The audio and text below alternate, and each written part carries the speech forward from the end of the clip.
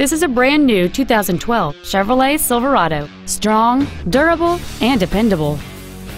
It has a 5.3-liter, eight-cylinder engine, an automatic transmission, and four-wheel drive.